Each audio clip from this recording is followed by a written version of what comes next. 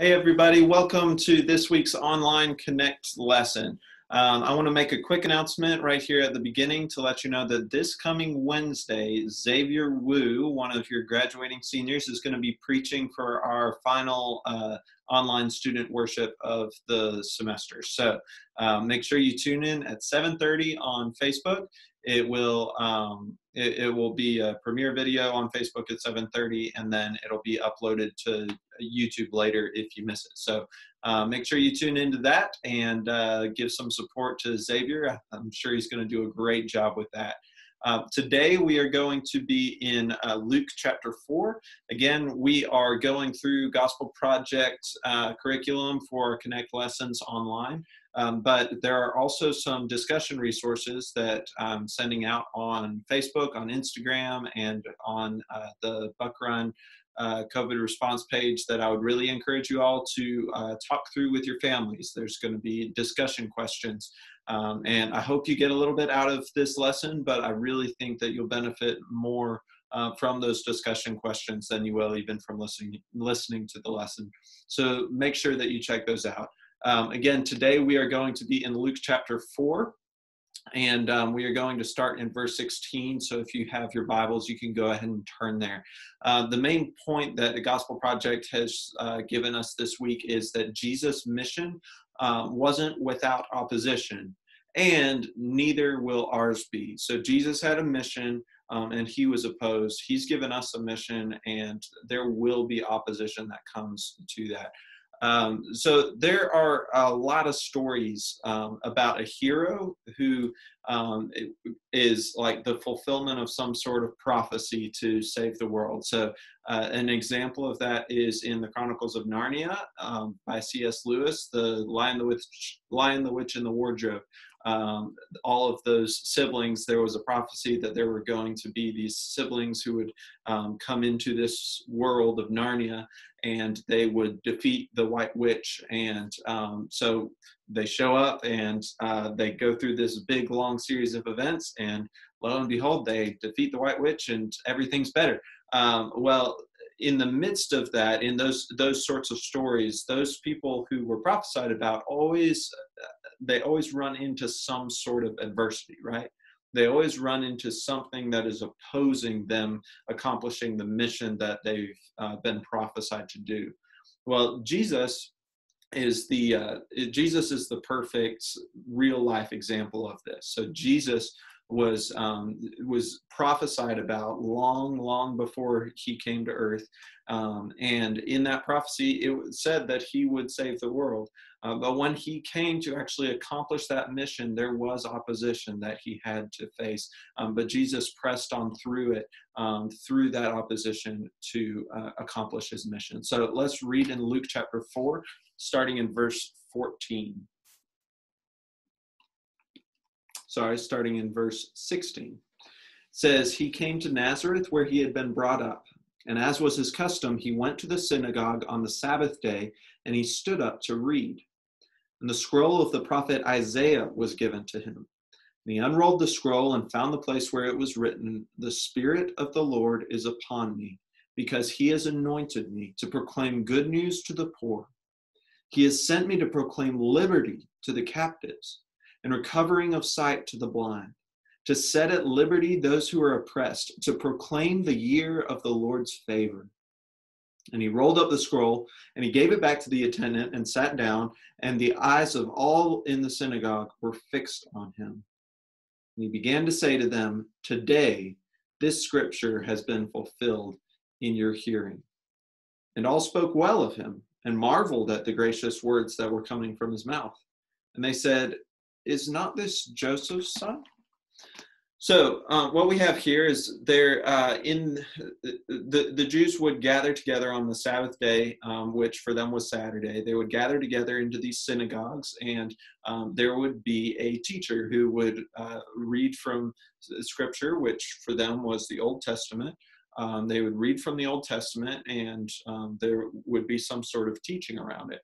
Um, so in this case, Jesus goes back to his hometown where he grew up and um, he is they're, they're in the synagogue and he reads from the book of isaiah and it is a prophecy um, looking forward to the Messiah. Um, and Jesus basically says, Y'all, that's me. So that is a really, really bold claim for a Jew. I mean, the, the Messiah has been prophes- prophesied for hundreds and hundreds of years.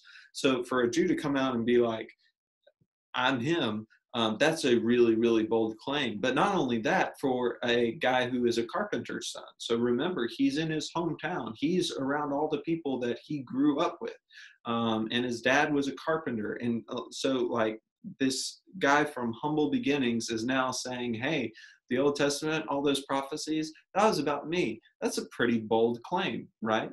Um, so, what was in that prophecy, though? If we look at that prophecy, we see he was to come to proclaim good news to the poor, to proclaim liberty to the captives.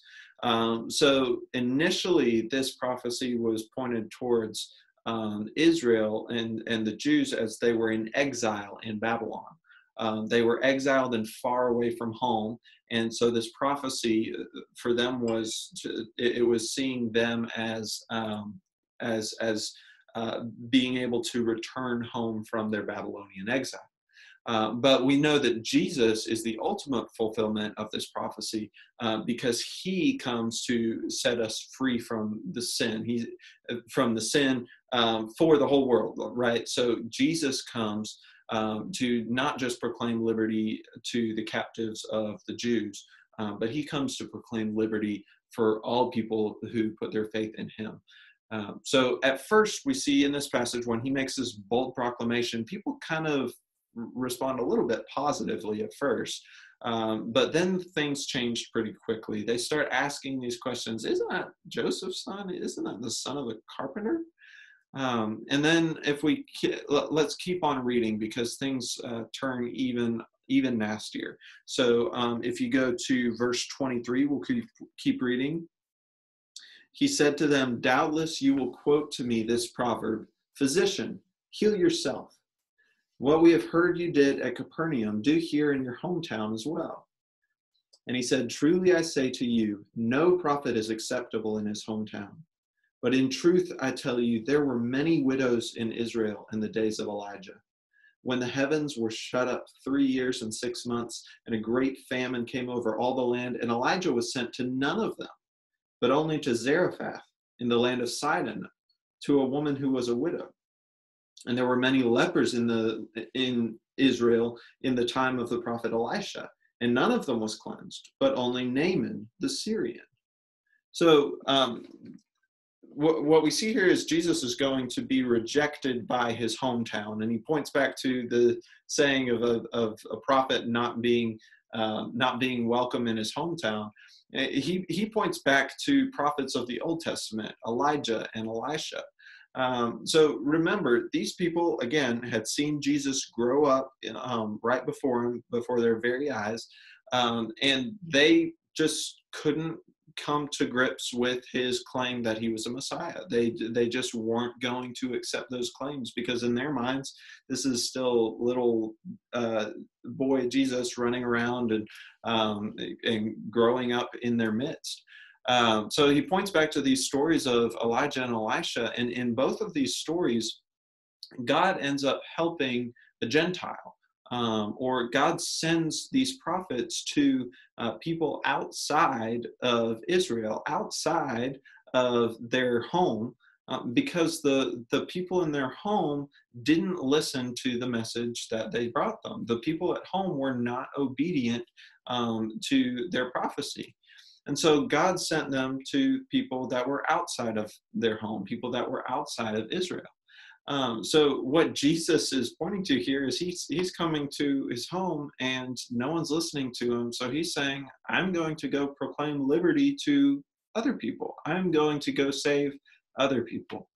Um, and this is uh, this is what we end up seeing in the book of Acts. Whenever um, Jesus ascends and gives gives his disciples the mission, and they uh, go to uh, Jerusalem, to Judea, Samaria, and even to the ends of the world. Um, and we're still seeing that now that people uh, far, far away from Israel, including us, have received the gospel um, but it's in large part because Israel themselves rejected it at first. Uh, well, this did not get a good response from uh, from the people in Nazareth. So, uh, if you keep reading in verse 28, when they heard these things, all in the synagogue were filled with wrath. They rose up and drove him out of the town and brought him to the brow of the hill on which their town was built, so that they could throw him down the cliff.